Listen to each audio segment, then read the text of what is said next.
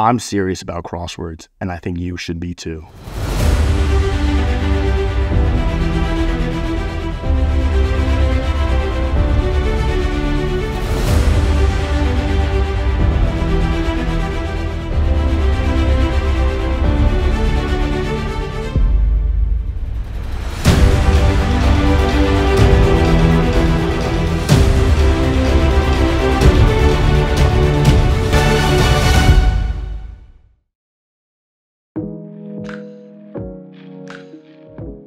Have you ever done a true New York Times style crossword? They're not easy. I'm not talking about the crosswords that your biology teacher gives you to teach you about the cell membrane. I'm talking about the big dogs. That's right, the New York Times style crossword. See, I have been doing the crossword for about a year now and have about a 50% success rate on the Monday crossword, which should be the easiest one. By Tuesday, I'm knocking down about 25% of them, Wednesday, Thursday, Friday, Saturday, and especially Sunday, I'm screwed. Okay? They are not easy. The New York Times crossword is specifically known for their dense block structure, alongside extremely niche and sometimes obscure trivia style questions for each one of their solutions. It requires obscure knowledge about art, history, language, labor unions, sports teams, different celebrities, weird movements in the 1700s about how the Protestant Reformation will affect Catholic tithe prices. Knowing the progress of large language models like ChatGPT taking over and understanding parts of the world like speech and computer programming, I thought the natural next challenge, the next frontier for these large language models must be crossword puzzles. Or that's what I thought until I met my friend on a Wired interview, David Kwong. Hi, David. Hey. If you want to talk about superheroes like Spider Man and Batman, you should definitely be putting David Kwong on the list. He is one of the New York Times crossword makers. This video highlights the absolute artistry that goes into creating these crosswords on an everyday basis. A devotee of Dionysus, which I had to look up, and uh, we'll finish this out here with F major and ta ta for now. Pretty cool.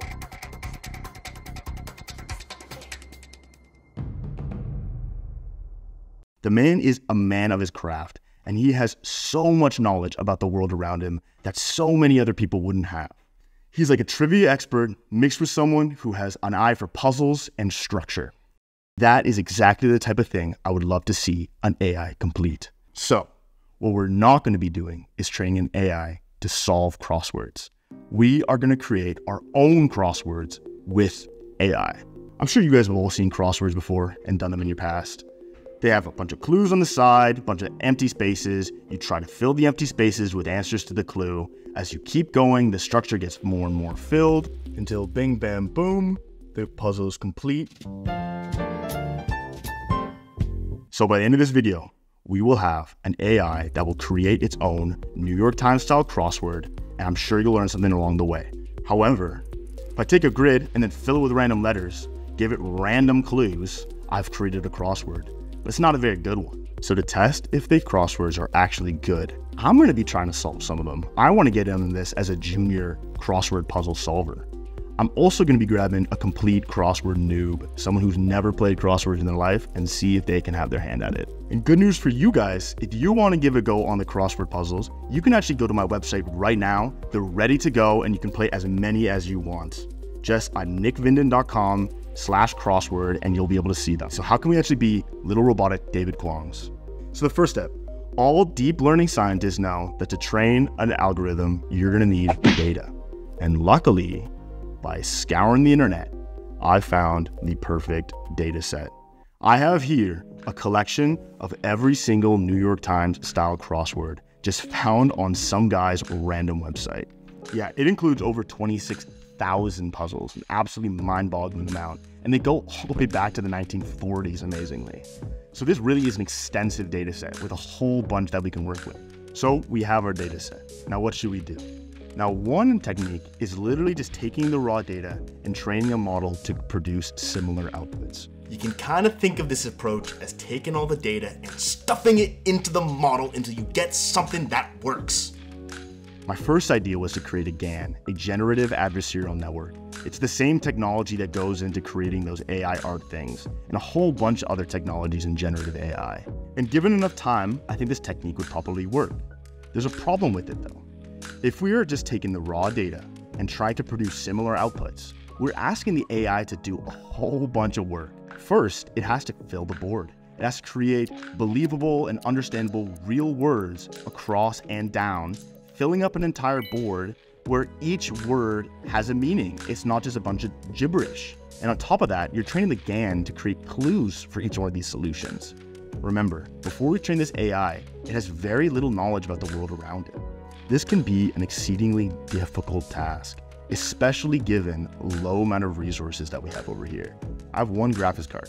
It's an RTX 3080, which sounds like a lot, but the type of hardware that is used to train large language models is absolutely astounding. You're talking supercomputers and millions of dollars of electricity by itself.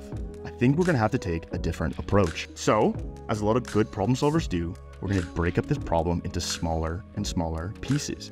And in fact, instead of training one AI, we're gonna train three that will work together as a team.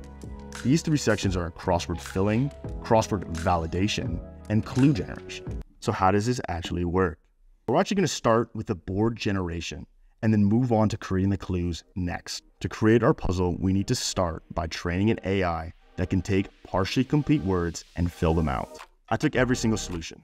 That is the actual letters you put inside the board. See one across, that's a solution. One down, that's a solution. Remember, there's 1.7 million of these, and they're all unique. And essentially, I would just randomly cover up letters with asterisks. Sometimes I would cover up some of the letters, sometimes I would cover up all the letters, sometimes only one, Training began when I took all the obfuscated, covered up words and put them into our neural network. The neural network would then do its best to fill out those asterisk word to create a prediction of what the neural network thought the word was originally.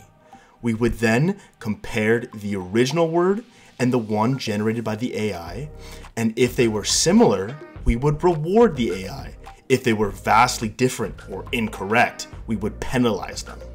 As the AI did this more and more and more, it eventually got better at filling out half formed words and creating legitimate predictions of what the words could originally have been. There's an online company called Hugging Face, and they have a really good user intuitive way of training models like this. I can use their API, I can grab a pre trained model, and then basically all I had to do was create the asterisk cover up, plug it into the model, and it would train for me.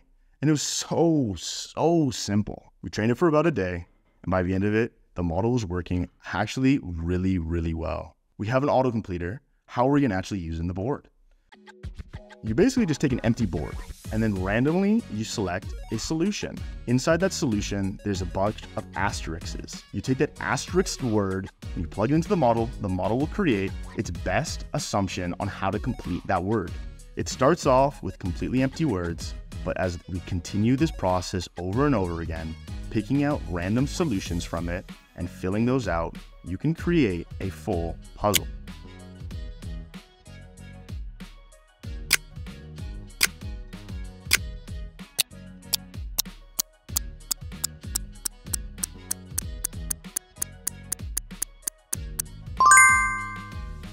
This was super easy to do. I had no real issues with it, but I only ran into one problem. And that problem was that the uh, crosswords were actually quite crap. Here's an example. Try to find what would be a good clue for the solution that is Natai. What about Siak? Or my personal favorite, NNNNN. Pretty obvious that there's a problem in this. Looking through the actual generation, I found a problem that the AI would constantly screw itself over in the future. When it was building the crossword, it did a pretty good job at filling out the exact solution it was tasked to fill out. The problem being that by doing this, it wouldn't account for all the cells it was affecting. And later down the line, when it needed to solve one down, it had absolutely no chance because it's already completely ruined this section of the board with a bunch of gobbledygook. So how do we solve this problem? Well, I think there are probably many solutions. but the one that I picked was something called crossword validation. I trained a second neural network.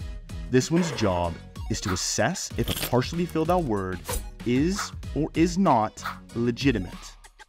Essentially, it takes a partially filled out word, just like the ones we were talking before, filled out with asterisks, and gives it a score from 0 to 1 based on how usable it is. The only difference between training this one and the last one is with the dataset. Going into the dataset wasn't just New York Times solutions and partial cover ups of New York Times solutions. It was also every single word from the English language, Taken from Webster's dictionary. but also inside the dataset, we put together a bunch of randomly generated word. Fantastic words like XXX and just like before, we covered up these words with asterisks. We label each legitimate word, those are the ones from the dictionary and from the New York Times crossword solutions, and we gave it a score of 1, and every illegitimate word with a score of 0. We then trained our model to output a score from 0 to 1, and we rewarded the model if it was close to the actual solution.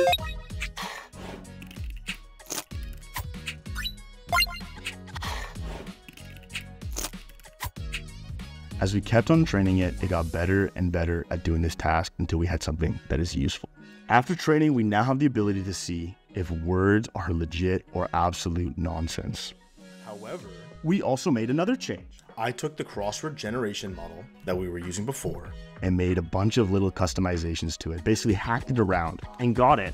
So instead of creating one legal word, it would create a whole slew of them. In fact, it was creating 256 words for each single solution it was given.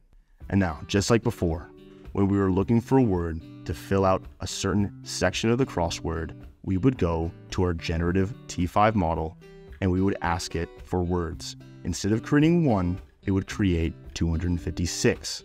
So now, instead of just taking one word, filling it in as the solution, and then proceeding from there, we can now do a little bit of trial and error. Instead, we make 256 different variations of each board, and then we move on to the validation. The validation would go through every single word in our potential crossword list and give it a score from 0 to 1. Once we average all these scores together, we will have an average score for each board. Once we take all of those board scores together, we will have a good ranking on which board is the most suitable. So you can see for this example, a word like national is very useful. It would create high scores for all of the solutions that were intersecting the word national because they were useful to use. They were legitimate, real places that you could put solutions. Contrast this to a word like Zephyr. It's a legitimate word, but it has a lot of bulky, gross letters in it, like Z, P at the end, and that has a lower score than a lot of its competitors. So now we have way more options when selecting a word, and we have a way to choose what is the better word of all the words in the list. But our data validation AI doesn't actually just stop there, it gives us even more benefits. Remember when I said we would randomly select which solution to fill out first? Well, that actually isn't the optimal solution. We can use our data validation to look at each of the words in the crossword board and pick the one that has the lowest score. By doing this and filling that one out first, we can kind of hammer down all the problem spots before they grow and become nasty cysts in our crossword. We don't even have to look at the top score. We can look at the top five worst scores and fill those out. And why not create 256 words for each one of those? Now we have a much larger sample size from different angles of the board. We can assess through all those things and we have much more of a possibility. The only problem is that creating a crossword used to take a minute and now it takes something closer to 15. Whew. It's the sacrifice we must be able to make. And there's massive gains here. We can see immediate progress when it comes to creating our crossword puzzle. The last technique had words like or and enatata and atani and goanad and yarton, just strange, weird words. Although not perfect, the new technique has a lot more structure in the boards. We see a lot of basic words, stuff like sun, add, saw, things that have been used in past crosswords hundreds of times and is not new to anyone around. But it also creates fun, interesting, novel words that have never been used in crosswords before, and I think are quite interesting. Look at this word, NetToes. How about Octoman or Redline? You sure you've seen words like shint, maybe even sty? How about this one? Buoy art. And stuff like STRT. You might say STRT is not really a legitimate word. I can already see the clue for this question. Abbreviation for street. STRT. A lot of them are maybe not the most common words that you've ever heard in your life, but they're fun, interesting, and they're pretty legitimate. We do have some strange solutions. No one's going to blame you for not knowing of words like Turha, Daesop, or Arania. These are all words that structurally make sense. I can read them off the page. They're not XXXYXXXY, but they're also not meaningful words that have legitimate reasoning in the English language. Also, You know how ChatGPT sometimes like to make up stories? Well, this one kind of does something similar. I don't know who Dr. Learget is, but I wouldn't trust him to do any surgery on me. So, in conclusion, when generating the board, it seems like we get a little bit of a mixed bag on the actual word quality that our AI chooses to use.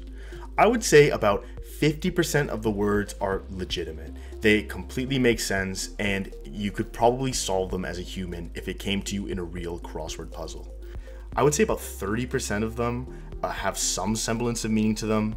Maybe they're just not quite right. Maybe they contain segments of some legitimate words, but put together, they're not completely dead on true. And then I would say the last 20% is complete nonsense. So it'll be interesting to see if our puzzle solvers can overcome these hurdles in order to solve our crosswords. I love that it's not just going with the low hanging fruit, it is actually filling out the crossword with pretty interesting solutions. It seems to me that this AI is actually capable of being quite creative. We see completely new solutions that have never been used in any New York Times crossword before. And I think it gives real personality to these crosswords. They're not robotic, they're not fake, they're not easygoing. They are difficult, challenging, and can guarantee that new players will be solving something that they've never solved before. And in a world where creating crosswords is a long and laborious process, it's quite reassuring and quite interesting to find that we can actually create something with a little bit of creativity behind it. I don't know about you, but I'm extremely happy with the solution we've done. I left this algorithm on for a couple of days and it was just generating crossword after crossword after crossword. I can hear you guys screaming at your monitor. What is a crossword without its clues? Nothing. So I think it's time for us to roll up our sleeves and find a way for us to create our own clues for each one of our puzzle entries. I came up with three strategies, two very similar and the other one's a little different. The first two solutions are blindingly simple. Essentially, I just asked ChatGPT to give me crossword clues. I don't know if you guys used the API before, but it's actually pretty simple. I gotta say, I was very impressed with what it did. I use ChatGPT 4, which is their most innovative, new, largest model, and then also ChatGPT 3.5, which is probably what you're used to when you use ChatGPT. And look at what the solutions it created. I thought they're so interesting and creative. Look at this word, so os. You probably don't know what that means, and frankly, neither do I. But ChatGPT gave us a very poignant and I think fun solution to this question. Something you might say to your friend down under eating shrimp off the Barbie. So, someone down under eating shrimp off the Barbie would be so Australian. So, that's your solution. It's so os. It has a bunch of very simple solutions when the words are very easy. For the word starch, it came up with stiffening substance used in laundry. Remember some of those words that are plausible but not really words? It came up with pretty interesting solutions for those. What is a trep sale? No clue. ChatGPT thinks it's a yard event for discounted merchandise. And look at this other weird word, buke. When have you ever used the word buke in your vocabulary? My guess, never. But according to this crossword, it is now an Old English variant for the word book. And yes, I looked this up, it is true. Blowing my mind even more, this is my favorite solution for all of the crosswords we generated. What is a R site? I have no idea. But apparently, according to ChatGPT, uh, a R site is a person who firmly stands behind RSA encryption. I guess if you're really passionate about triple DES encryption, you would be a triple DESite. But if you're into RSA encryption, you're an RSAite. Try solving that one. That being said, some of the words going into the model were completely nonsensical. I think even humans can't really come up with solutions to some of these crosswords. What would you put as your solution to the word late deck with two Ks? Um, I don't know.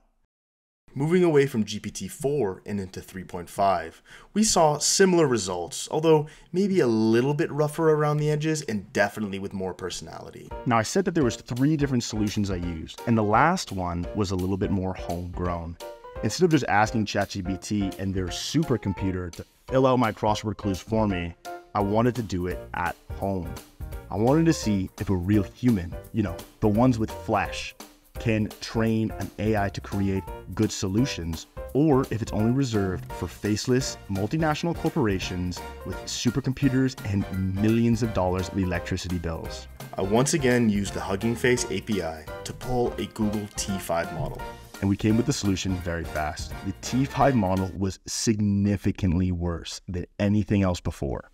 Look at this. The word Dan, D A N, the solution is blank saber. Makes no sense. Now for CES, we got the solution CES, CES. Completely nonsensical. For word those, a very commonly used word, something that should be very familiar to a T5 model, it created the solution those who do not do drugs. What?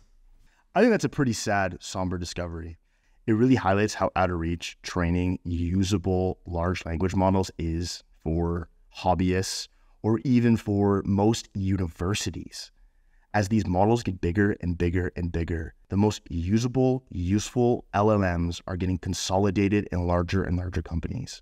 Do you want to live in a world where the only companies who can train usable, massive LLMs are companies like OpenAI, backed by Microsoft, companies like Google, like Facebook? companies like Tencent. It's not the point of this video. But as AI gets more and more integrated into our society, is this really the direction we want to go? Just some food for thought. But anyways, back to the video. We have our crosswords. They're ready to go. I've been running this algorithm to generate crosswords for about three days now, and it's just creating piles and piles and piles of them. And I've gone through, I've looked at some of my favorites, and I quickly whipped up a little JavaScript code that'll display this and put it on our website so we can play them all we want. Now, I think it's definitely time to test these out. The first test dummy is to be me, and I pinky promise with all my heart that I have not looked at these before we go. And here we go. I am off. Going into it, I had a feeling I would solve maybe some of it. I thought it was pretty unlikely I was going to get all of it. I'm not that great at crosswords. But I was actually pleasantly surprised about what I did. I think I was able to solve some pretty tough challenges. Okay, MT. I got MT. Hidden hacker from Quebec. So MTL, so Montreal. Hidden hacker from Quebec. Montreal. That's cool. Because I knew how these boards were generated, I had an idea of a little bit of how the logic works and how some of the words play out. Um, I did find some repeated words. You see words like Google quite a bit. You see words like were, W E R E. You see that all the time in these crossword generations. But in general, I got some pretty good ones. There were definitely some solutions I there was no chance of me getting. Like for Mediterranean archipelago country's capital without its last letter. I thought I was so clever by putting Athens, the singular form of Athens.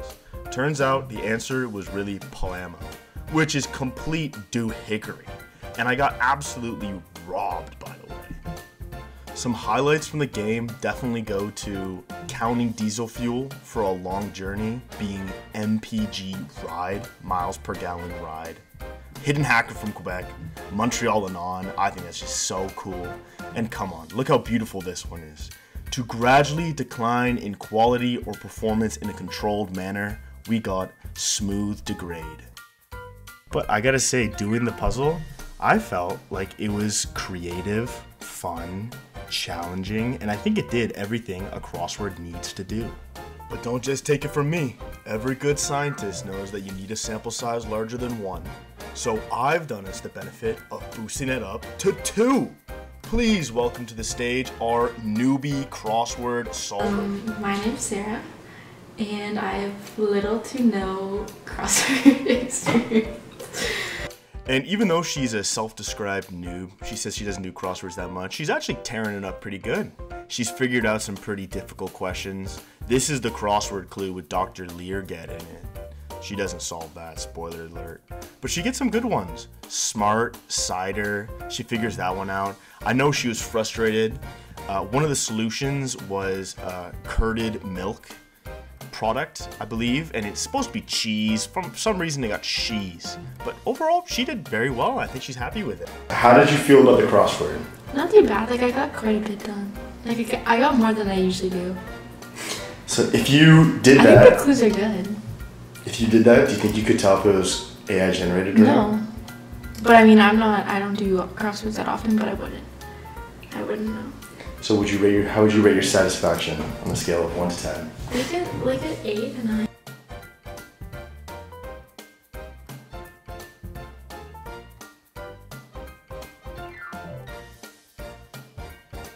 Anyways, if you want to test these out, they're on my website. The link is in the description.